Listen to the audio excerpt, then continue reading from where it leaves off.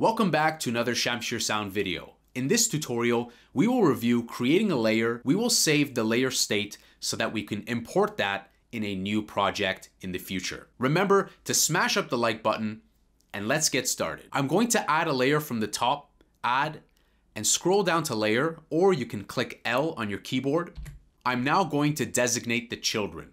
The children are part of the layer package. So what I'm going to do is I'm going to right click on base, right click on Massive, and right click on this 3x oscillator, and I'm going to click set children. If we go ahead and click on layer and click on a note, we can see that they've been set. From here, all we have to do is click at the top left, plug in options, save layer state, and give it a name. We'll just call this bass for simplicity. Now we have a fresh new project. Let's go ahead and import the layer state. I've navigated to the layer state preset in File Explorer, and I'm going to drag and drop that right into the pattern window.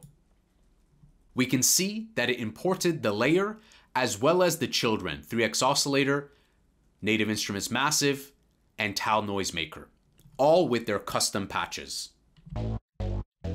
I hope you guys enjoyed this quick tutorial. If you did, remember to smash up the like button. If you're new to the channel, make sure you hit the subscribe button, hit the notification bell, and that way you're alerted of the daily uploads. If you guys have a track for feedback that you want to submit, you can submit that on my SoundCloud, and I'll see you guys in the next video. Have a great day.